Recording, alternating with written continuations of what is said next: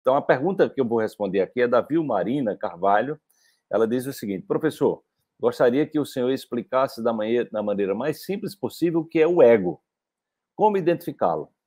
Comecei há muito pouco tempo a conhecer esse conteúdo, esses conteúdos. Tenho assistido pessoas que gostam, mas na minha ignorância sobre o assunto, vejo muito ego envolvido. Isso me deixa na dúvida sobre o que assisto. Desde já agradeço, né? Então, gente, é o seguinte: é, no, no livro A Carta de Cristo, no livro A Carta de Cristo, tem uma, uma reflexão muito interessante sobre o ego.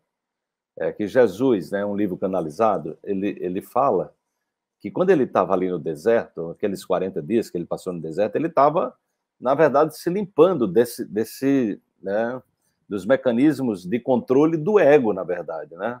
O, o, essa coisa do demônio não é, um, não é uma entidade fora da gente, não é um inferno fora da gente, é, uma, é a compreensão do mundo que nós temos que pode ser uma compreensão infernal, né?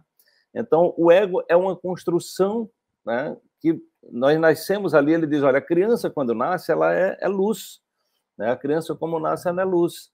E à medida que a, que a criança vai crescendo, ela vai sendo aprisionadas. Ele, ele traz uma imagem assim muito interessante que ele diz que teve uma visão da criança presa em correntes e ataduras, entendeu? Que é exatamente a necessidade de se defender que nós temos é, dentro de uma sociedade ainda de muita desconexão. Então você passa por situações ameaçadoras e você vai criando estratégias para você sobreviver. Então as estratégias que nós criamos para sobreviver é, elas podem ser conscientes, podem ser subconscientes, né? mas você precisa sobreviver. Então, o seu instinto de sobrevivência é o instinto primitivo mais agudo que nós temos. Então, em cima da necessidade de sobreviver, nós criamos estratégias. Né? E nós criamos estratégias, muitas vezes, estratégias artificiais, agindo de uma determinada maneira para agradar nosso pai, para agradar nossa mãe, para agradar o professor, para agradar o irmão, para nós passamos por muitas vezes situações abusivas, por situações de violência, por situações, enfim, tem pessoas que passam por fome, passam por decepções graves, por traumas. Já no útero você passa, né, é por desafios. Eu mesmo tenho desafios que aconteceram no útero, né, da minha mãe. Então, assim, a grande questão é que dentro desse contexto que a gente olha da física quântica, não tem, não tem um, um, a gente não tem essa coisa do mal e do bem, né?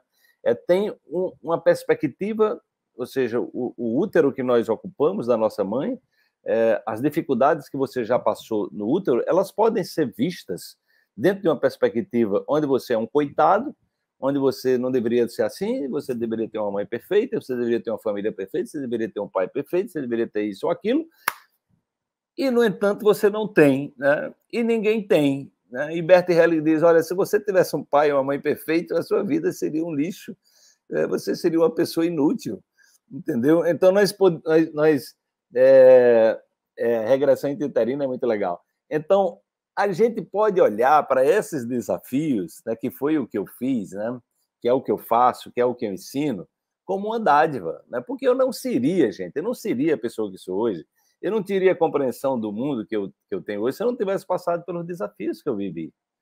Entendeu? Então, assim, quando eu me apego, quando eu olho para o desafio e eu sou vítima, é, eu estou exatamente criando uma barreira para a minha evolução.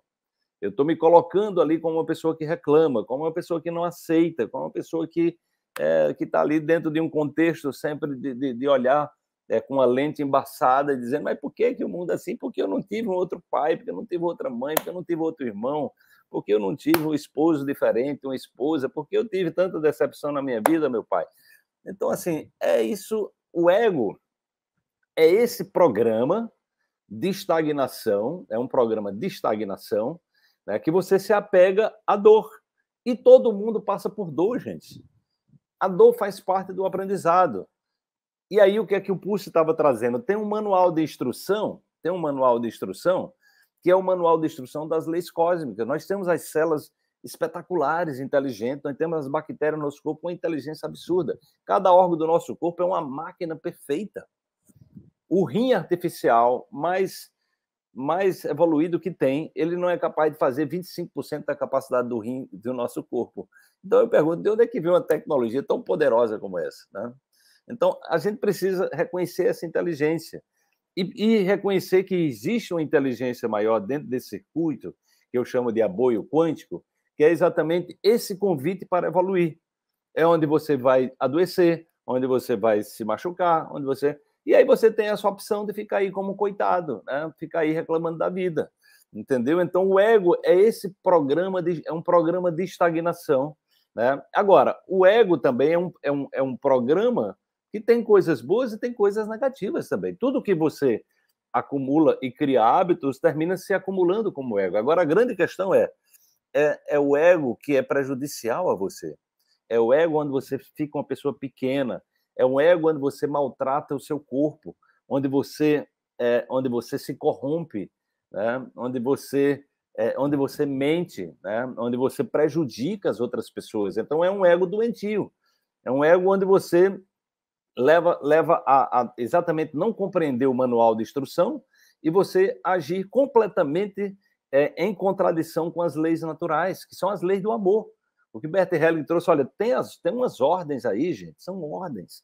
São ordens da natureza. Jesus falou nisso, Buda falou. Eh, as pessoas que, que atingiram o pico de uma percepção diferenciada foi exatamente isso: olha, tem um programa que você pode sair da dor, você pode sair do sofrimento perene. Agora, o sofrimento existe. Né? E o sofrimento, ele é, ele é exatamente, ele tem esse viés do ego, que é essa programação de estagnação, é, onde nós, ao invés de aprendermos com o sofrimento, com a dor, a gente fica ali ruminando, ruminando, ruminando, ruminando, ruminando. Né? Então, aí é onde está o processo. Né? Então, à medida que nós vamos evoluindo, nós vamos olhando para esse programa e vamos, mas de onde é que vem isso? Né? Muitas vezes eu me pego, mas por que, que eu estou pensando isso? Por que, que eu me comporto assim? E no momento que você começa a olhar e perceber que você não é o que você pensa, né? porque o que nós pensamos, gente, são 60, né, 60 a 70 mil pensamentos por dia, em média, que um ser humano tem, 90% dos pensamentos são os mesmos. Então, nós, nós vivemos dentro de um processo de ruminação, de um, dentro de um processo de aprisionamento. Né? Então, no momento que eu percebo essas, essas estruturas dentro de mim, né, eu posso me movimentar num outro sentido. Então, os conhecimentos que eu busco trazer na comunidade quântica de evolução e autocura para as pessoas, né?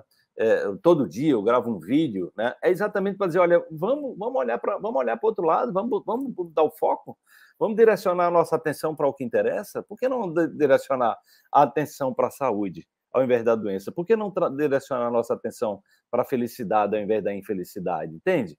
É, por, por que não, não, não direcionar a nossa atenção para a abundância e prosperidade ao invés da pobreza, entende? Então, assim, por que não direcionar nossa atenção para a saúde ao invés da doença? Por que não, eh, eh, não direcionar nossa atenção para a paz ao invés da guerra?